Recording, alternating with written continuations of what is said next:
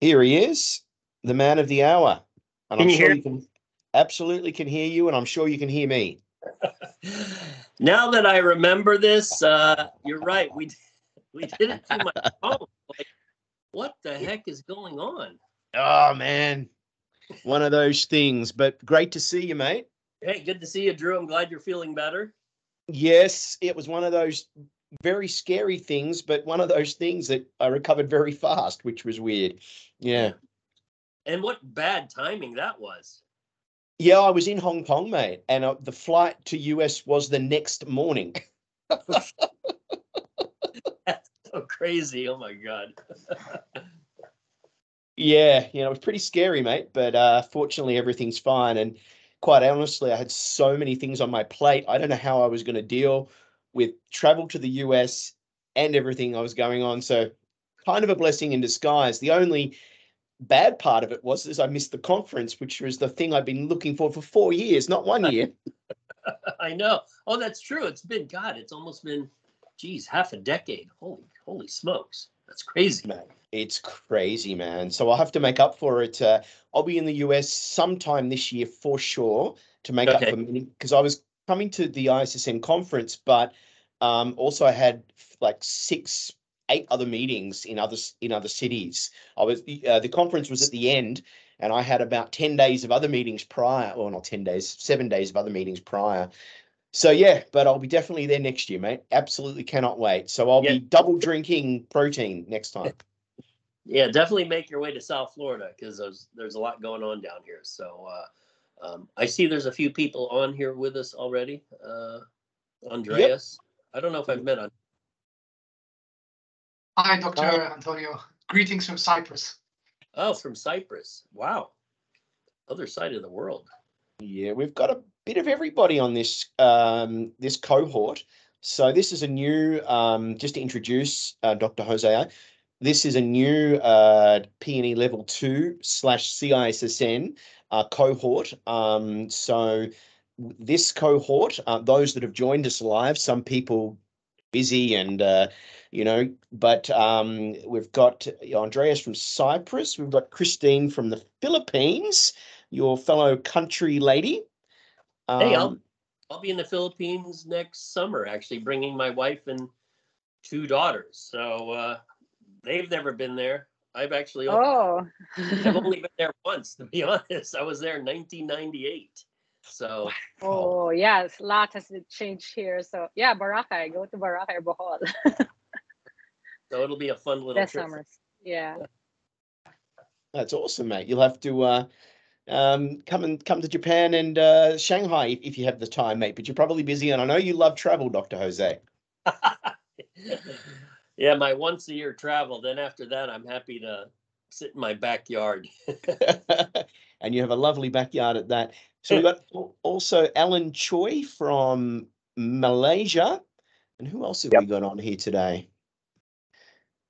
Um, a few others. I'm trying to get the so Andreas, Christine, Ulst- Alston also from Malaysia, and Alston's just got a promotion working with the Olympic Committee, actually, cool. um, in nutrition and uh, and a lot of other things. But I'll let them introduce themselves a little later.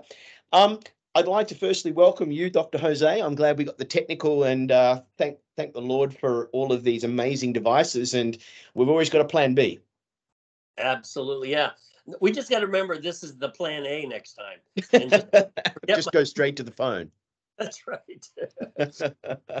it's good quality anyway. In fact, the lens on these phones are, are better for video than even the computer these days as well. Wow. Yeah, I'm actually any. I've got my camera is my iPhone. It's a way to way to do it on the Cool. computer. Cool. Anyway, I just just wanted to uh, introduce uh, Dr. Jose. For those that don't uh, know, Dr. Jose Antonio, the CEO and co-founder of the ISSN. Um, if you don't know, well, um, you shouldn't be on this, and we'll, we'll kick you off because you absolutely should know. Um, being being the co-founder and um, the the creator, uh, the co-creator of uh, the the uh, illustrious, um, very famous, and uh, considered by many um, the the best uh, sports nutrition certification uh, in the world in sports nutrition, the CISSN or the Certified Sports Nutritionist, which you have all um, applied for and are about three quarters of the way through, I believe, at least on the live um, component. Some of you may have already finished the um, the uh, recorded versions, um, the the playback professional videos, um, but these live reviews and the guest lecturers, um, I believe, we're about three quarters of the way through. So I won't talk too much, um, other than the the fact that I'm apart from founding the ISSN, which Dr. Jose will give you a story about that and a Japanese restaurant. And if you haven't heard the story, um, it's it's an amazing story, but there's a lot more to that um, story as well. Um, the other components is Dr. Jose is a researcher and done a lot of research in all areas of sports nutrition. If there's there's a subject of sports nutrition that Jose, Dr. Jose doesn't know, I'd be surprised, but predominantly protein. I would consider Dr. Jose to be one of the world's most um, experts on protein consumption, specifically for athletes, um, more than the general population. Um, but there is some crossover there for the general population too. And no protein does not kill you or give you kidney damage or make you bald. You're only predisposed to baldness, like Dr. Jose Antonio and I. No, that's creatine, right? Um, just joking. Um, so also creatine and a plethora of other things. And um, in summary of why the International Society of Sports Nutrition was founded, um, which I've been now in the sports nutrition industry for two and a half decades. So uh, five years um, prior to the ISSN being founded. And when I was working for General Nutrition Center, GNC, in Australia and, and many other sports nutrition companies, there was a big gap between science and marketing, a massive gap. And with that, it was very difficult for the consumers and industry to really determine what actually worked, um, you know, what was bro science and what was marketing and what was completely BS. So um, Dr. Jose Antonio and a group of passionate uh, researchers, PhDs um, in this field, including um, his his good friend, my good friend and co-founder, Doug, Dr. Douglas Kalman, and a few others, uh, formed the ISSN to really um, cut out the bullshit when it comes to sports nutrition and really prove what is science backed. And with that, apart from them founding it, but then they put together the uh, position stands, which are a collection or a summary of all of the research out there to really, rather than you guys having to shift through thousands of papers and, and through the, the good and bad ones, there's a good summary. So the position stands, if you haven't read all the position stands, no, you will not be passing the CISSN exam. Um, but then also there's the JISSN, the Journal of the ISSN, which has thousands of research um, uh, journals um, in there as well. And there's a lot of other things, including the networking, which I sadly missed the the 20th anniversary of the the ISSN, and that's every year. And uh, later we'll talk about the upcoming webinar um, for, for the ISSN that is available. And if with you guys being a member of GPNI, you'll get a small discount if you would like to attend the live. So without further ado, welcome Dr. Jose Antonio. Thank you, Drew. Actually, that was uh, a very uh, beautiful introduction. I mean, you really encapsulated, you know, why you know the ISSN was started and things like that. I do want to give uh, your audience a brief um, sort of background of who I am, where I've come from, why we formed the ISSN. Um, I was actually born in uh, Quezon City, uh, Philippines, um, many many years ago. So but my parents emigrated to the United States when I was quite young, so I actually grew up in the United States. Um, and my father, my father was a physician, and his dream was to have a private practice in Washington D.C. He realized his dream, and you know, sort of semi following in his footsteps, uh, rather than going into medicine, since it seems like every Filipino immigrant either goes into medicine or nursing. I thought, you know what, I'm going to go into science because apparently no one wants to go into science. And as an undergrad and then grad student, my interest had always been in sports nutrition. Now, here's what's interesting. Before the year 2000, in the United States and probably all over the world, there really wasn't sports nutrition science per se. In fact, most people treated sports nutrition and sports supplements kind of as uh, sort of the black sheep of the academic family. It's like it didn't really get any respect. And a lot of the major organizations, like the American College of Sports Medicine, which is probably the largest sports medicine group in the world, they didn't think, you know, studying sports nutrition or sports supplements made any sense. They, you know, they didn't think it was a legitimate field of inquiry. So that's really what prompted myself. And you mentioned Dr. Doug Kalman, one of my close friends. He actually lives about 30, 40 minutes south of me.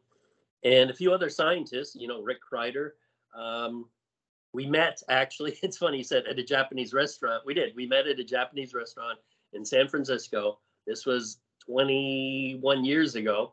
And we decided to start our own organization, which focused on sports nutrition and sports supplements. We came up with the name International Society Sports Nutrition.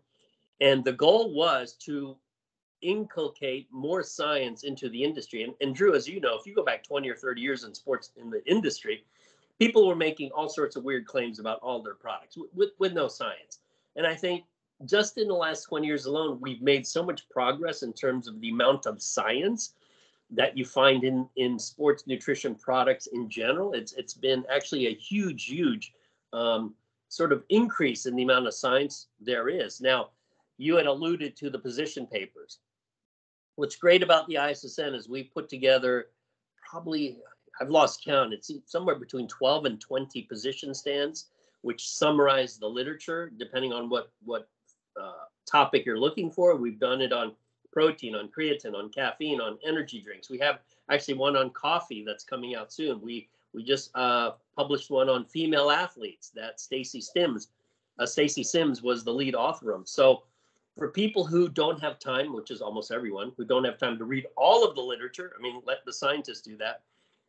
That's why the position stands are so important because it summarizes so much of the information that otherwise you could either read our position stand or you could read the 50 to 100 articles, peer reviewed articles that are published. And I mean, unless you're a professional scientist, no one has time for that. I mean, even scientists oftentimes don't have time for that because there's just too much to read. So our goal with the ISSN is is to promote the science of sports nutrition and supplements.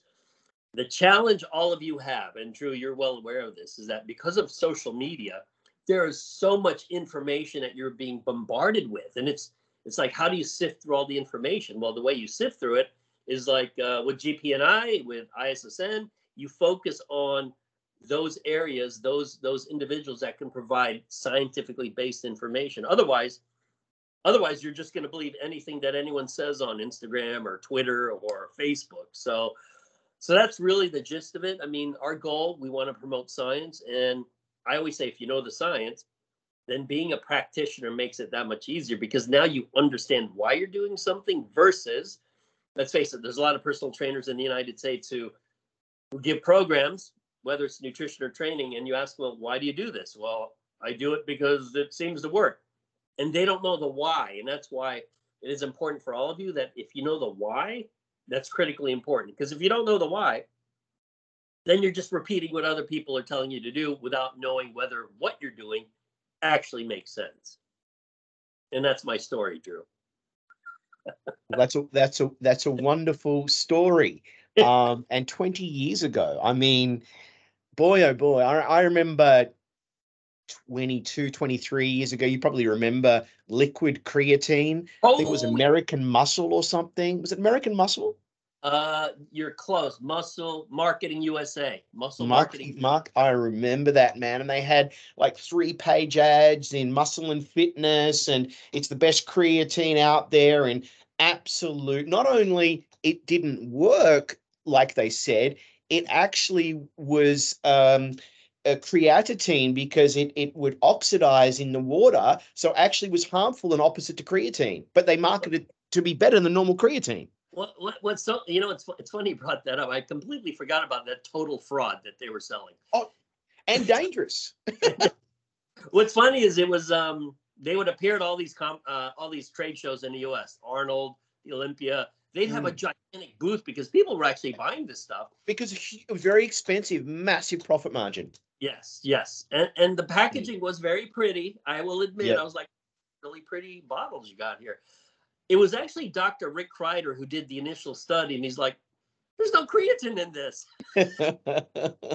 They got so mad. They're like, "Oh yeah, there's creatine," and Rick Kreider's like, "No, there's literally no creatine in this." So, as quickly as they rose, they just collapsed because everyone figured out, okay, you guys are just a fraud. You're just a bunch of frauds. So, so that's a perfect example, actually. Exactly, man. But they would have made a truckload of money in that that that interim. Um, I would imagine, you know, like a lot of the other, you know, sad stories like uh, USP Labs and you know all of these other fraudulent, dangerous companies. And I think that's what's you know beyond the science and really proving what's right. But I think you've you've also been a guardian of the industry to help really separate you know people guardian in in in exposing what you know does and doesn't work but also protecting people's health because you know there's just been so much rubbish and there still is you know there is still a lot of cleanup to go but compared to where it was when i started my career in the industry 25 years ago I mean, oh, there's a lot more products, a lot more brands, but Yeah. but it's it's certainly cleaned up a lot.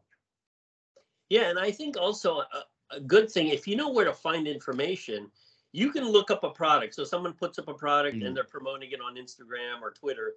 It's easy enough to find whether there is valid scientific information to support that product. I mean, because Yes. the beauty of social media is now companies can't hide. I mean, back Yes. when Muscle Marketing USA came out, they could just kind of hide because it's like, who are these guys and what are these claims they're making? But now you can't hide at all. People will Yeah. find you and they will they will uh, you know rightly attack you on social media. It's like, wait a minute, this is just a total fraud. What are you guys even talking about? Now, Correct. there's a flip side to that. There are many people who will believe anything. Correct. so Correct. I don't know what to do about those people. Correct. And case in point, the last three and a half years, but we won't go down that rabbit hole. yeah, I know exactly what you're talking about. Very, very good, mate. I remember the uh the MuscleTech marketing and they would take out like five ads and you know 5000% muscle increase i mean these ridiculous statements do you remember those for hydroxycut or nitrotech or cell tech Oh yeah. and you know what's funny? Um, well, that you could actually use those examples of the last three years as well. But let me give you a real example of an ad um, wh- where the they compared the product to the so-called placebo, and the Yep. product they gained they gained one pound. The placebo gained half a pound. So they would say it is 100% more effective because it, like yeah, one pound is yeah versus half a pound or or whatever. One kilo, half a kilo. It's like wait a minute. technically, here's the funny part. It, when you ask their lawyers, technically they're not lying. They're like, well, technically, it is Correct. hundred percent greater. But, correct but it's like what I call it a factual lie. It's like yeah, it's true, but you're really kind of lying.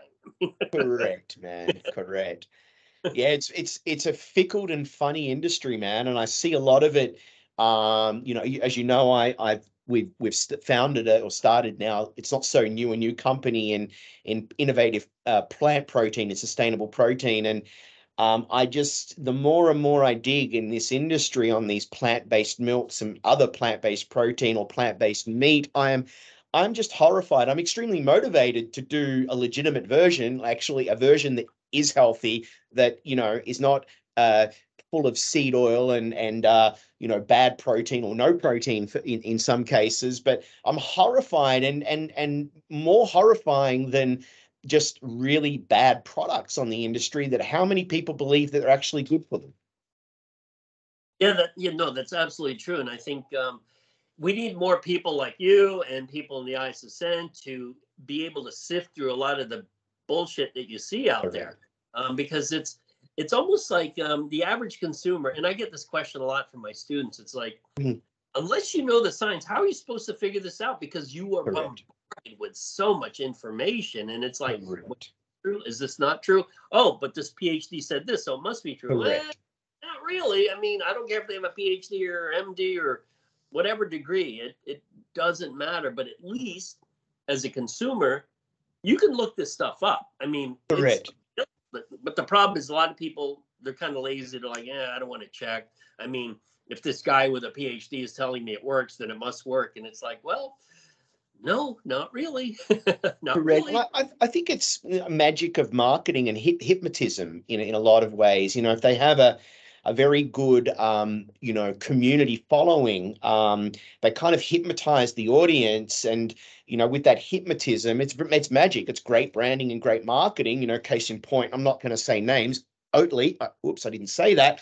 You know, I mean, they they hypnotize the public. You know, cows are evil. You know, the anti-cow movement, the, the the no cow generation, you know, all of these different things.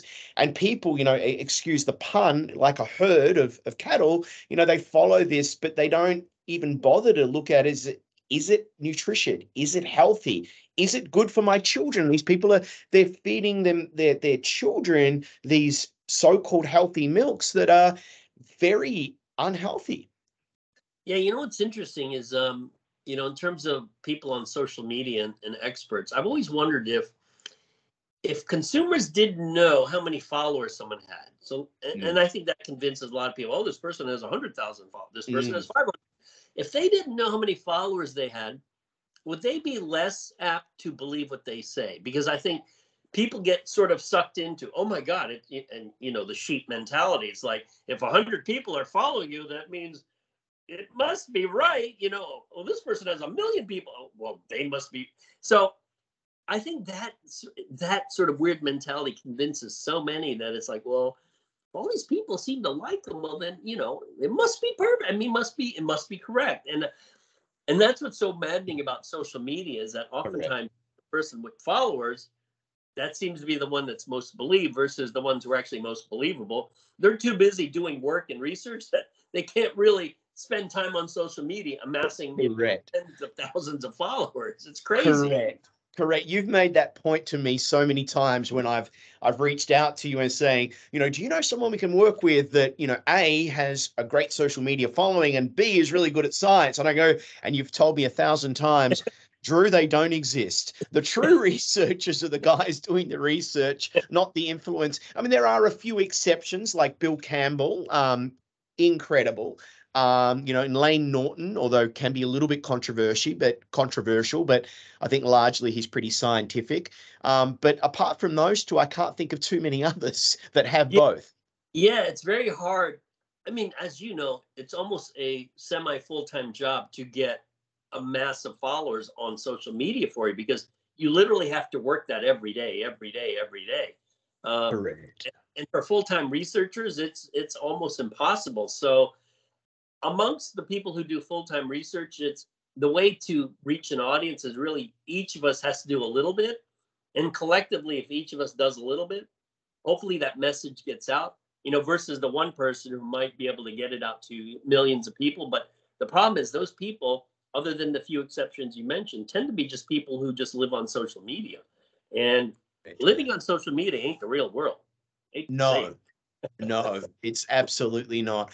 But thankfully, um, I I believe, at least my own personal belief system, there is a an awakening of humanity that is is is and it's slow, it's very minute, but there is an awakening humanity that is really trying to delve into the truth and not always believing social media or even mass media to some degree and and really trying to pull apart, you know, not just trust the science, but actually understand and comprehend the science is maybe a, a, a better a better terminology than trust the science blindly. that's absolutely true. That's I mean, that's what I try to inculcate into my students. I want to, you know, Mm. teach don't treat and here's the weird part, and you and I've talked about this. A lot of people treat science as a religion. Mm, correct. it's like, wait, which religion do you want to choose today? Well, I'm going to choose this religion because he's the science. And it's like, no, you can't do that because one of the hallmarks of science is that, in a, in a way, you trust nothing. I mean, Mhm. scientists by their nature should not trust, should inherently not trust things, should inherently be skeptical. And by mm-hmm. being skeptical, eventually you get to, you know, I hate to use the word truth, but you know, maybe the truth of the time, the best information at the time. At so the time. Correct. yeah, you you know, it, it sounds weird when students are like, "Oh, so I shouldn't trust you." I'm like, "Yeah, you don't trust me. Don't I say, don't believe me because I'm telling you this. Believe me because I'm right, and believe me because the data shows that I'm right." But just because I tell you this stuff in class doesn't mean it's correct. Challenge me, and I, and I say challenge all your professors. Just because they're telling you in class doesn't mean they know what they're talking about. And they're like, "Really?" I'm like, "Yeah, I mean, I swear to God, it's true." Absolutely. I was listening to a Joe Rogan podcast in the gym earlier. Um, and, and our banter is wonderful, but we'll we'll shortly uh, wind this up and allow the students to to banter with you. Um, but I was listening to this Joe Rogan podcast, and uh, it was uh, can't remember the gentleman's name, but basically he was talking about the universe and the existence of the universe. And, um, you know, he's he concluded and Joe Rogan kept challenging him. And it said, you know, well, on, on the on the the data we have at the moment, this is what we're concluding. It doesn't necessarily mean that that is the conclusive answer, but what we have from the data. I think that was a pretty valid response and a and a good response to, to validate science to what it should be and not what some scientists do. And, and I think you're right in, in saying that some some people treat it as a religion, you know, tr- uh, uh, blind faith, you know, just trust on on on you know because they say it's true. And I don't think that's a responsible attitude, and I don't think that's what fundamentally science is and should be. Yeah, trusting the science is the an, is the antithesis of science.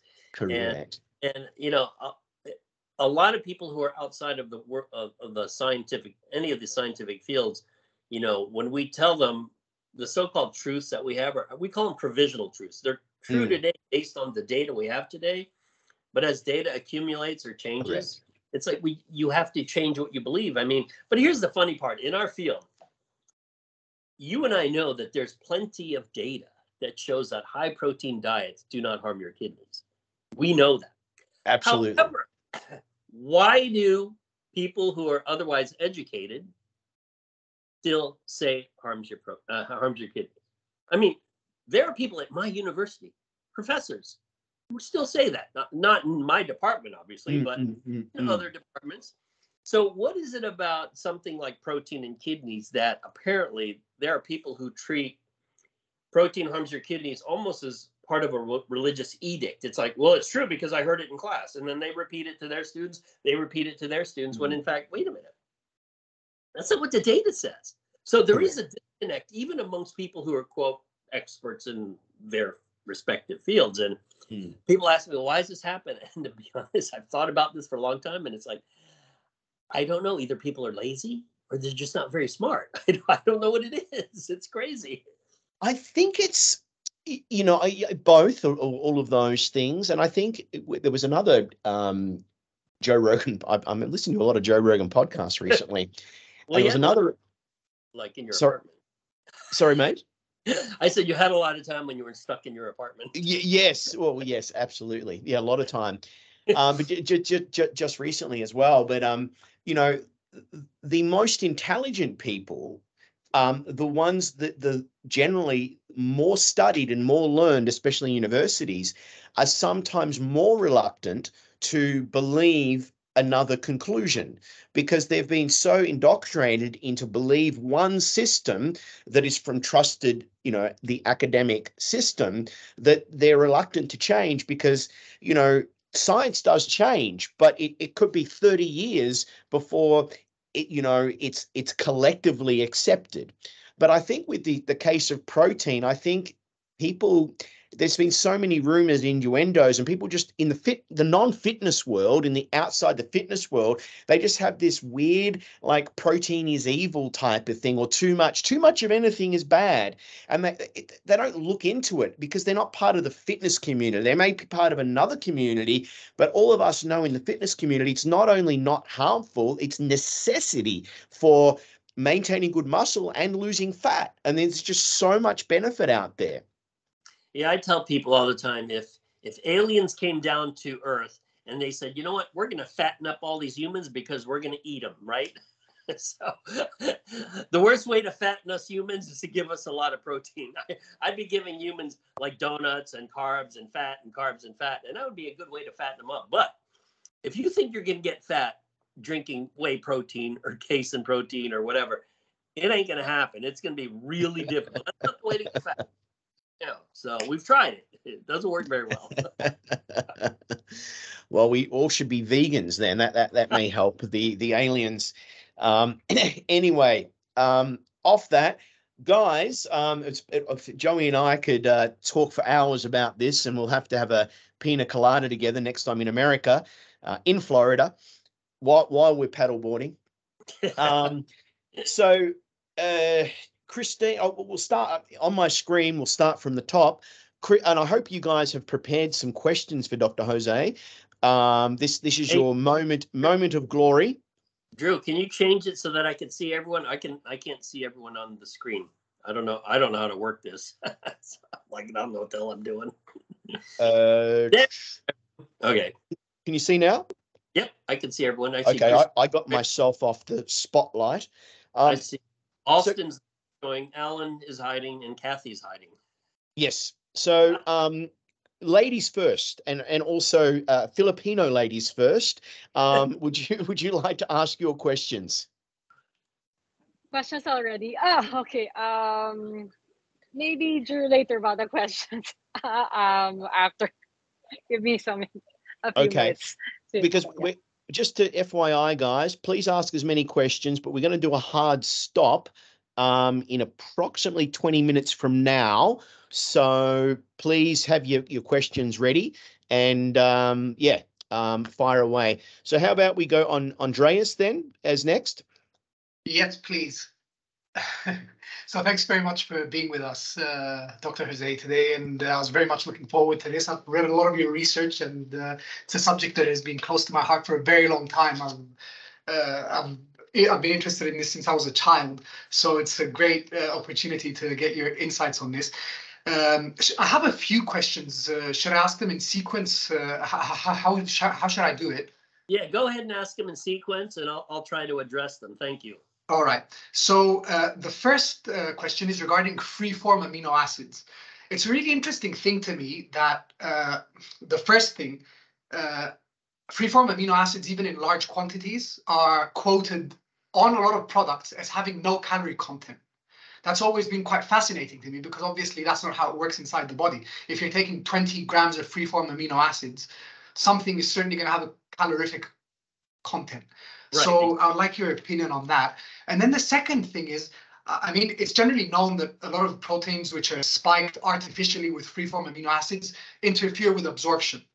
Uh, in general, of the uh, amino acid content of, let's say, a whey protein, if you're spiking the whey protein of a poor quality with some free-form amino acids to make its amino acid profile look better, something different is happening than a natural whey protein. So that also comes up with um, you know, taking amino acid supplements in conjunction. So if you were to take an amino acid supplement, uh, even if it's branched chain amino acids, let's say 15 minutes before a whey protein drink, something different would happen with absorption. Uh, certainly something different happens with the absorption mechanisms inside the digestive system. So wh- what's your opinion on that and what's the correct practice? Uh, Well- No, those are interesting questions. Um, the first one dealing with, um, you know, absorption issues. But let me let me sort of backtrack a little. One of my good friends, he's at University of Arkansas Medical Center, Arny Ferrando. He does a lot of work on essential amino acids, and we we do know this. Gram for gram, if you get the essential amino acids and compare it same amount to whole protein. So let's say you get 10 grams of essentials versus 10 grams of whole protein. Essential amino acids do promote a much greater increase in muscle protein synthesis. So they actually work better gram for gram. So the question is, well, why why do people not consume essentials? And it's usually a flavor issue. People would still rather consume whole protein because it tastes better than essential amino acids. Now, whether the essential amino acids, if you consume it pre before whole protein, you had mentioned branch chains, which are three of the essentials, whether it impacts digestion or absorption. I'm not aware of any data to show that. It's because it would be no different than consuming a whole protein, one type of whole protein, then consuming another one later on. Uh, I think your digestive tract has no issues in terms of absorption. Now, um, the cal. What's funny about the calorie issue? It's it's interesting. You bring up the calorie issue, and I think each country treats this differently in terms of okay, what's the calorie content? Are you dealing just with whole protein, which I think agencies in the United States tend to do. It's like, okay, what are the whole proteins versus if I just add branch chains, which actually there is a calorie issue to that, but it's really more of a legal question, not a scientific one. And that's why it is a little deceptive in terms of not counting the calories from essential amino acids. But it, it in pragmatic terms, it may not matter because one, the calories itself isn't enough to, to really matter. And also the calories from essential amino acids or branched chain amino acids certainly are not going to affect um, body composition negatively. So, um, but those are interesting questions. I think the bottom line, this is how I would look at it pragmatically or practically. Essential amino acids do work better than whole protein when you compare it gram for gram, but consumers still choose whole protein over essential amino acids, mainly because if it's a flavor issue. And uh, and oddly enough, I remember way back when I helped a company make an essential amino acid formula. This is, was for uh, Champion Nutrition. This was like 20 years ago, I think. And people wouldn't buy it. It was just simply it was flavor. And They're like, you know what? I just don't like the taste. And actually, personally, I don't like the taste either. I'll be quite honest with you. I'd rather consume 20 grams of whey protein than 10 grams of essential amino acids, even though gram for gram essential amino acids work better. So that sort of answered your question. you, you have you have indeed. In continuation to that, um, okay, two things. So in my research, I've, I've done some uh, research for my master's. I did a systematic review for my master's uh, degree, and that looked at a large part of it. I won't go into detail to you know um, uh, waste your time because there's obviously a lot of other questions. But basically, uh, the calorie content because of diet-induced thermogenesis is generally accepted, I think, to be around 3.6 grams kilocalories per gram of protein because of the diet-induced thermogenesis effect. Do, do you think there should be a review of the calorific content because of that in uh, you know science generally? Yeah, well, I, I don't know the answer to that, but you're right because of the thermic effect, because of the high thermic effect. Um, but then you're dealing with really uh, uh, sort of the net cost of consuming a protein or amino acid. We know the thermic effect's much higher, so should we adjust that based on the thermic effect? And um, you would have to. Here's the problem with that: you would have to make adjustments for different kinds of proteins. I would guess um, that whey might be better than maybe different than casein, which might be different than soy, which might be different than than in uh, the same amount of um, um, uh, free form amino acids. And and I don't know if that would be help consumers or become more confusing. I think for scientists, you know, for people who are studying it like yourself, it, it makes sense. But for the consumer, it might be it might actually be more confusing because you know they would say, wait a minute, I thought protein protein's four calories per gram and carbs are four calories per gram, but but when I eat protein versus carbs, I put body fat on easier with carbs. But wait a minute, it's the same calories. And I think the, I think it would confuse a lot of people. I mean, for us who study it, we're like, okay, that makes sense. But for people who don't study it, they're like, well, wait, I thought it was the same amount of calories, which technically it is if it's in a bomb calorimeter, but not in a human body. so exactly, exactly. Yeah. Okay, and then one final thing. Uh, forgive me for asking so many. So it's about the timing of protein from what I've seen, it seems to me that uh, you, know splitting the intake of protein over several meals does affect muscle protein synthesis in a very different way than consuming, let's say, two meals, two large meals of uh, of you know I don't know 100 grams of protein. Let's say. I mean, for me, it's settled that there's only uh, you know, that it makes a lot of sense to take, let's say, 30 grams several times a day than 100 grams twice a day. And yet, there is a lot of discussion that it's the total amount over a day that matters more hmm. than splitting it. Wow, you uh that's a great question because that's something we argue about all the time. Literally all the time. Um I I also say it's total protein that matters. However, there's a huge caveat which you brought up. I say total protein matters, and someone says, "Well, why don't I just eat all my protein like at breakfast or dinner?" I said, "Well, you could do that, but I don't think it'd be very smart. There's no way you can eat, you know, 200 grams of protein. Well, maybe you could 200 grams of protein in a sitting. So, from a pragmatic standpoint, there is a timing issue, and I think what people have conflated is there's a timing issue with spreading your meals out, let's say every three or four hours, and then people said, "Well, then do I need to consume protein after I work out?" And my answer to that is yes, you should because there's no advantage to not consuming protein after you work out. So because we work on a 24 hour window and we're only, you know, let's say we're asleep eight hours, so the rest of the time we're awake for 16 hours, it is best to spread your meals. And the data I think says basically, let's say every three or four hours, you get a bolus of 30 grams of protein every three or four hours. It elevates muscle protein synthesis and then it drops and goes up and, and drops. That seems to be the ideal way of promoting gains in lean body mass or gains in muscle mass. So it's people that that's funny. People say, well, timing doesn't matter. It's just total protein intake. But because we live on a clock, you can't really separate them. I mean, because no one's going to eat all their protein. Let's say it's two meals a day, breakfast and dinner. That's still not ideal because you have this entire seven or eight hour span where you haven't consumed any food. So, you know, Andreas, you're right. It's it's best to spread it out. Um, I, but again, this is primarily for people interested in increasing lean body mass. Some people, because of, of, their work schedule and whatnot, they can't really eat that frequently. So in that case, I say, hey, just try the traditional breakfast, lunch, dinner.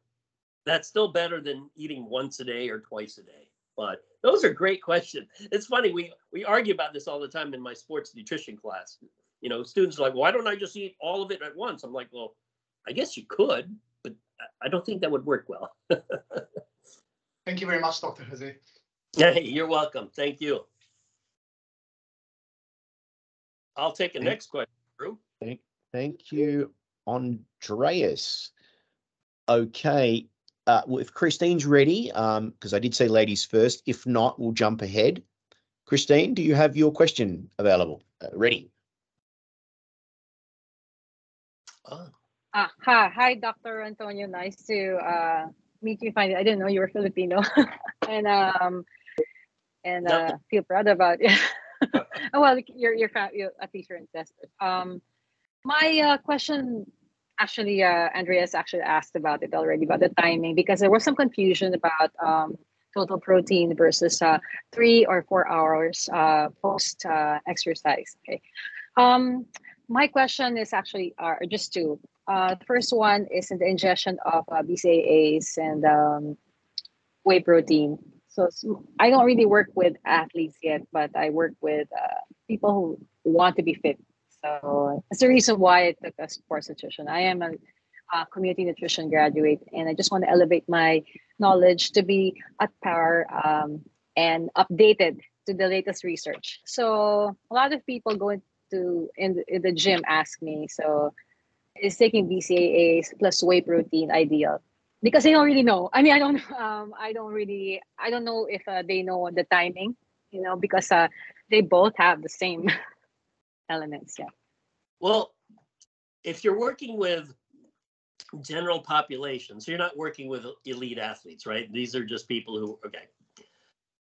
In general, they should stick to whole protein. In fact, um, I think in that case, branched chain amino acids are a waste of time. The the only instance where branched chain amino acids would be helpful is if you're an athlete uh, competing in a sport and the value of branched chain amino acids is, is basically to decrease delayed onset muscle soreness.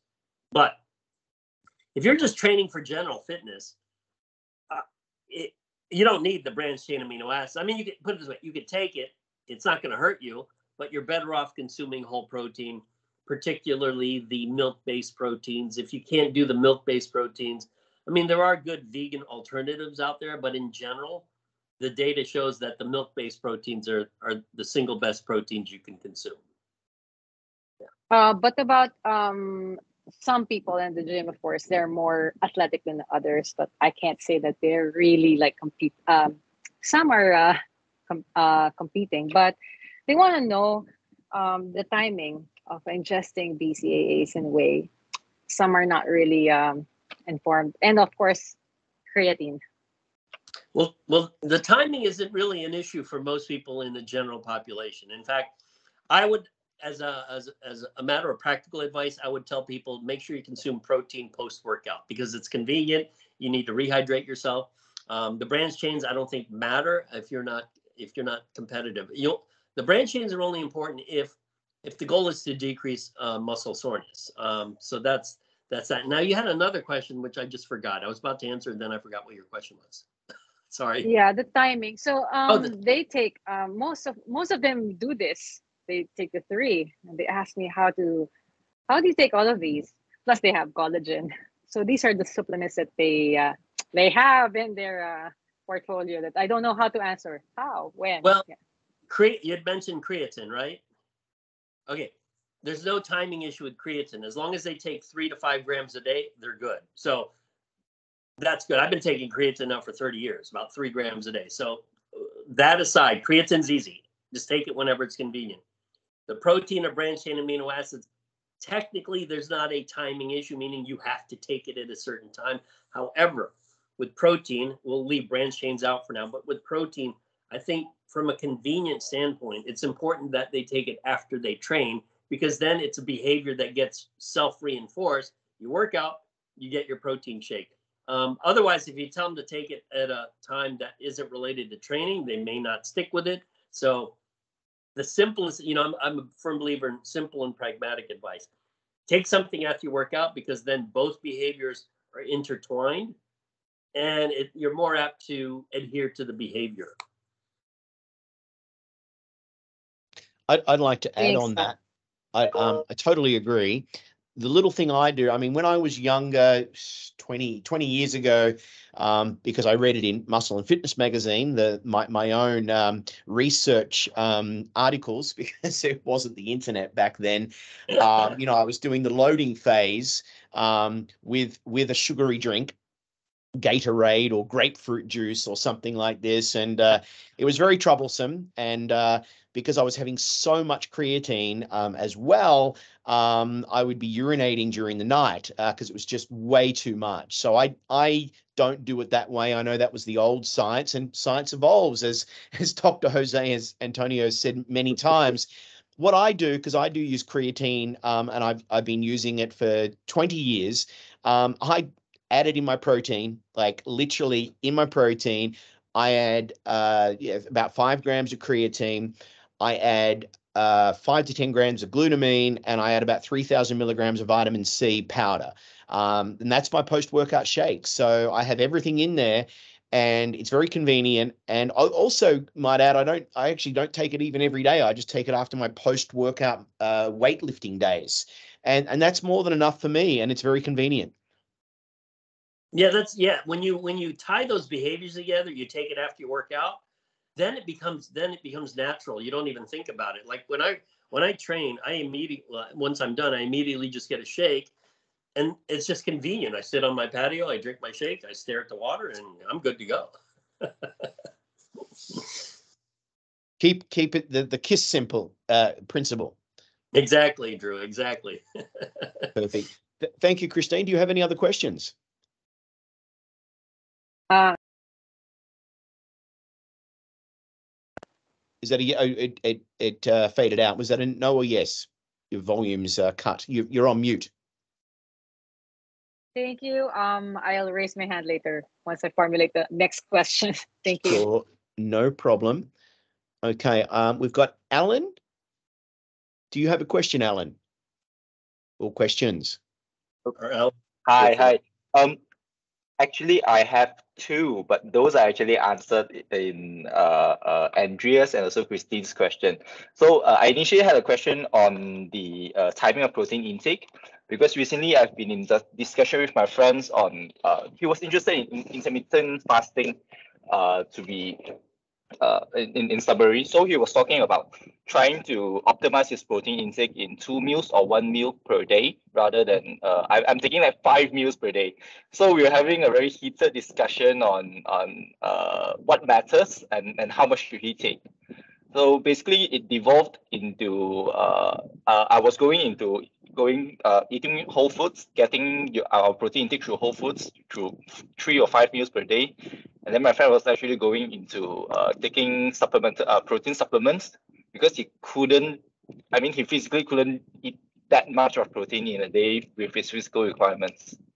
So uh, just now, Andrea's question actually, I mean, uh, Dr. Jose's answer to Andrea's question actually cleared up some uh, uh, questions that I had.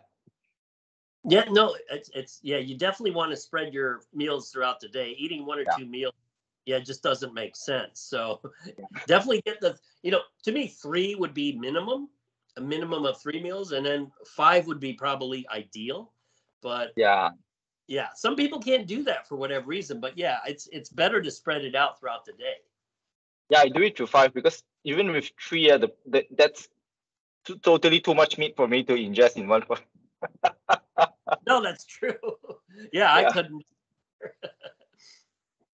Yeah, but that, but that, that, that, that was the question that I had. Yeah.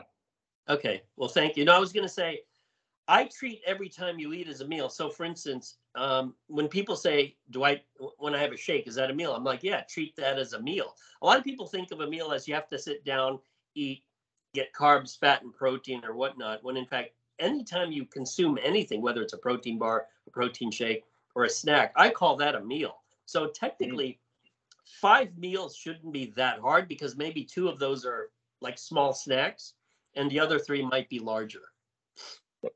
Yeah. Okay. All right. Thanks, Thank you. Alan. Thank you. You're welcome. Drew, Thanks, you're, Alan. there you go. And um, Alston, would you like to ask some questions? Alston is uh, Noah Stuckey. Alston's there, but I'm not sure. He's he may be not. Andreas has got another question. Um, and Christine's got two questions. Okay. Um, Andreas, go ahead. Um, thanks for. yeah, I'm really happy to get a chance to ask one more thing. Uh, Dr. Jose, I'd like to hear your opinion and your thoughts on uh, the subject of muscle protein synthesis versus uh, preventing muscle breakdown. So, for instance, we know that leucine is much better at inducing uh, muscle protein synthesis uh, compared to something like HMB, which prevents breakdown. And both of these are important in different ways, especially when you talk about the timing like we have. You know, most of the time you're kind of trying to prevent catabolism, but then anabolism in the post-exercise period becomes much more important. So something like leucine would might, might be more important. What do you think about that? What should we focus on? How should we think about it? Well, I tend rather than thinking of it of it as just synthesis versus degradation or anabolism versus catabolism. In general, you are you're either in positive or negative muscle protein balance, right? And when you eat a meal, you're in positive balance. When you're when you're fasting or starving, you're in negative balance. The issue, it's funny you bring up the issue of so much data focuses on muscle protein synthesis and not so much on muscle protein degradation or, or protein catabolism. And and honestly, the primary issue with that is it's easier to measure synthesis. That's why you have all these labs that measure synthesis, but not many focus on degradation, which obviously, if degradation goes down and synthesis goes up, the net net effect is you get muscle anabolism. But it's it's interesting you bring up HMB. I think that's one of the one of the key reasons use HMB because of its anti-catabolic effect. Uh, but in general, I view, you know, when I look at uh, data, whether it's on foods or supplements or whatnot, to me, I always, I don't necessarily focus on synthesis per se. I focus on the net effect. And here's the thing, and this is the problem with a lot of the acute studies, which you've probably read. If you look at something acutely, and let's say synthesis goes up or degradation goes down, I'm like, okay, that's kind of interesting. But what matters over the course of four, eight, or 12 weeks? What's the net effect? And that's really all that matters, whether the net effect is from higher catabol uh, less catabolism or more anabolism.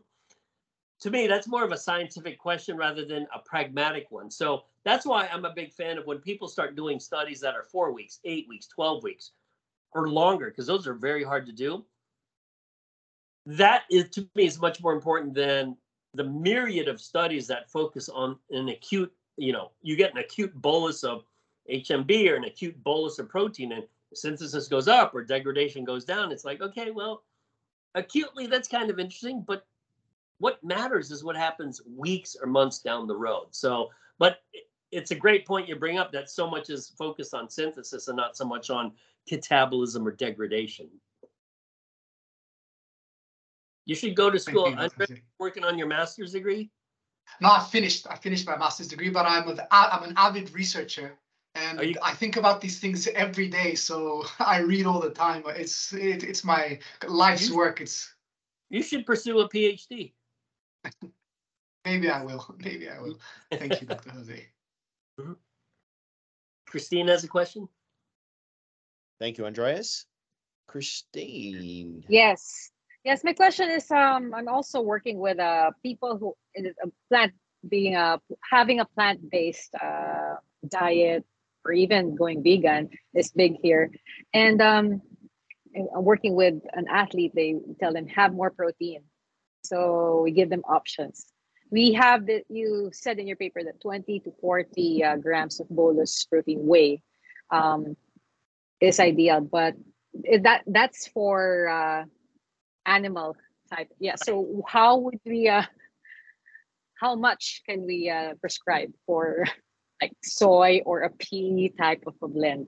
Yeah, it, it's a great question. If you're vegan or vegetarian and you don't want to consume milk-based protein shakes, you can still get the essential amino, excuse me, the essential amino acids. You just got to increase the dose. So let's say, like for instance, I usually consume 20 to 30 grams of whey protein post-workout. Let's say I wanted a vegan protein, I would just increase the dose a little bit. So instead of 20 to 30 grams, I would consume 30 to 40 grams of a plant-based protein. So you can make up for the lower quality by increasing the quantity. Um, and that's the best way to do it. I mean, if they don't want the milk based protein, they're just going to have to consume more of the plant based stuff. So you're saying it's around like a hundred fifty percent. Uh, sorry, uh, like that, uh, like add around additional fifty percent. Okay. Um, so that would be a problem for uh, aging, uh, the aging population who are also they w- would need more protein, that's true. more. Yeah. and that's why it's it's really hard to get these be uh, to get people to comply with these behaviors. I mean, let's face it, a lot of it is learning the psychology of why people do things or not do things. But at the end of the day, they have to do it. Otherwise, you know, you lose lean body mass with age. You know, sarcopenia. You become less fit with age. You just you just got to do these behaviors. I mean, because there's really no other choice. Um, another question that I have, I think I, I read somewhere, is that um, re, um, e- ingesting protein alone versus uh, ingesting protein with carbohydrates, there is a higher absorption rate of um, protein. Is that correct? I mean, uh, it doesn't really matter if there's a mix with like fat, anything. Yeah, else. that's that's not correct. Um, you could mix Uh-uh. it with Yeah. fine. Yeah. Oh, I see. Okay, thank you for doing that. Thanks, Christine. Drew?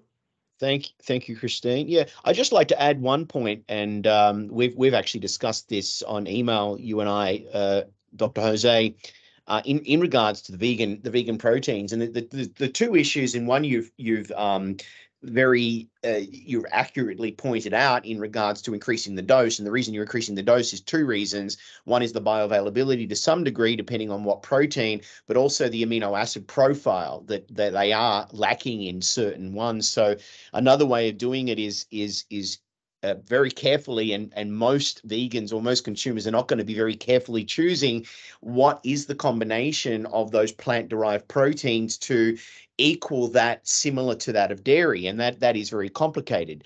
Um, you know that being said we are bringing out a new protein here's my little plug uh, from nitec that is equaling um, the amino acid profile actually the DIAAS um, the digest, digestible um, index amino acid score to equal actually um, with some research done in a, a, very famous Florida university. Hopefully, sometime next year, we will also prove that um, that that our combination um, and formula next protein um, is is adequate to that of dairy and, and also tastes like dairy. But it's complicated because most consumers are not going to do that. So by putting it into a single formula and backing it with research, not just marketing, I think that's very important. But consumers can do it, but they really have to understand the science and understand the amino acids and also um, choosing a good quality plant-based protein because they're not all equal. Some of them um, just they don't digest well. Um, they're they're they're very harsh on the stomach, um, and uh, there is some um, allergen um, aspects as well. So it is complicated, but it can be done. Um, so I, I just like to add that. Good point. Good. I, yeah. Um, Alston, I don't think is on. Do we have any other final questions? Can I can I ask something if if possible? I don't know how the time is. We'll take one uh, more question about that. Yep. All right. Thank you very much, uh, Dr. Jose. So my, I'll, I'll, ask a question in kind of the opposite direction now. We know from uh, research that we've seen in the last decade mostly that uh, cellular autophagy or DNA renewal is extremely important for disease prevention and uh, some ca cancer uh, prevention more specifically. So when we're focusing on kind of you know, maximizing muscle protein synthesis uh, and, uh, you know, minimizing breakdown and all of these things, we're kind of uh, forgetting the autophagy or the renewal, the cellular renewal mechanisms. What, what do you think about that? Wait, re I, I missed the first part of your question. So uh, a lot of research that I've seen in the last decade mostly uh, is indicating that cellular autophagy or the removal of kind of old DNA, the cycle, is extremely mm -hmm. important. So if we're focusing a lot on muscle protein synthesis and anti-catabolism, how do we factor in the autophagy benefits into the formula and how should that be dealt with? That's a good question. The, the, the quick answer to that is I'm not sure. However, I think with all of these things, there's a trade-off because I've heard the arguments about autophagy and how the signals from from exercise, i.e., the MPS signals, um, people said, well, wouldn't that also promote tumor formation or cancer formation um, because it's anabolic? But here's the trade-off. So people who exercise and consume, let's say, protein because they're promoting gains in lean body mass, there's a health benefit to that that would outweigh anything related to, you know, um, the effects on like mTOR and whatnot. People like, well, if mTOR goes up, does that promote tumor for formation? Well, mTOR goes up also to promote muscle protein synthesis. So what's the trade-off? The trade-off is you're much healthier because of exercise. You have more lean body mass because of exercise and nutrition. And we do know that lean body people who exercise live longer, and also that lean body mass. The more you have it, let's say you end up in a hospital, the the better chance you have of having a good outcome if you're in the hospital. And that's why I think this focus on autophagy or autophagy, however people pronounce it, I think is is you're sort of missing the forest for the trees when in fact the exercise signal outweighs any of that. Uh, well, the exercise plus nutrition signal, and I think that's much more important. But that's a, it's that's an interesting question because it's actually a complicated question. You know, people think most synthesis, synthesis, synthesis, and it's like, well, tumors, you know, undergo protein synthesis as well, which is true, but it's the exercise signal that is paramount. Thank you very much. I enjoyed that whole thing. Absolutely. It was amazing. Thank you very, very much indeed. Thank you, Andreas. I appreciate that.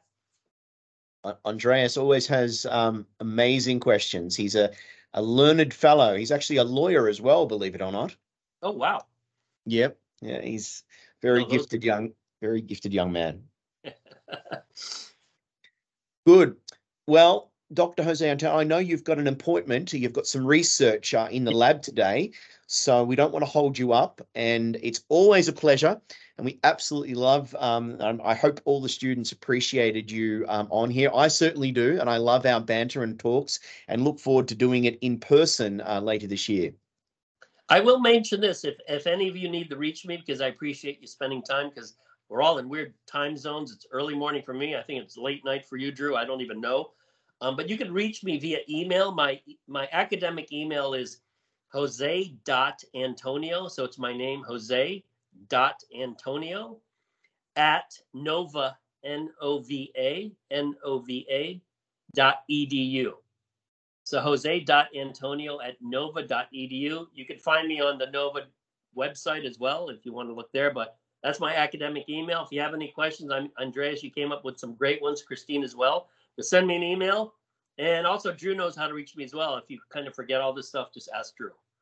A- a- absolutely. And I, I got to say Thank one so thing. Much. He's very good at communication. I don't know how you do it, mate. You're very, um, very humble and very good at communication on email. So, guys, reach out. And also a reminder: um, there's a webinar, an ISSN webinar, uh, coming up. When is it, Dr. Jose? It's uh, it's October 14th. Yes, October 14th. I, I, I forgot. but go to issn.net that website and you'll see the online webinar, issn.net. So, yeah. The online webinar. And if yeah. you guys are all interested, uh, Dr. Jose Antonio, because we're partners, has put together a very special discount. So for GPNI um, students, uh, so you get 10% off if you're interested. We've posted that on the website or reach out to me or Kathy or one of the team members, and you can use that coupon code to get 10% off. Um, and yeah, I mean, at different time zones, but um, I think it's like, is it early morning or evening? So it may fit on with, in with people. Well, it's early morning here, so no. So the, the, webinar, it, the webinar is actually so we're talking about New York City time, Miami time. It's yep. it's from twelve o'clock noon till four p.m. in the afternoon. So God, that would be a weird time for you. yeah, it would be. Yeah. But fortunately, it's going to be recorded and available as well to playback. So, you know, you guys can watch it that way. But I implore you to watch the live version because it's so much more interesting and, and you get to, you know, maybe ask some questions and things like that. So please reach out. And next year, there's going to be obviously the conference coming up and um, I'll be absolutely there. Um, and no no holes barred. And uh, I, I encourage all of you to also attend because not only you'll learn science, but you'll get to rub shoulders with some of the elite people and drink cocktails, which is always fun in board shorts and. Uh, right. And we say thongs in Australia, but that's the wrong terminology for Americans. Yeah, you're not wearing thongs here, buddy. Flip flops. All right, buddy. Well, uh, I enjoyed this. You guys have a great day or evening. And uh, looking forward to the next one we do, Drew. Thank you so much. Thanks, guys. Thank you, Dr. Jose. Thank you so much. Have a great Thank weekend, you. guys. Bye-bye. Bye.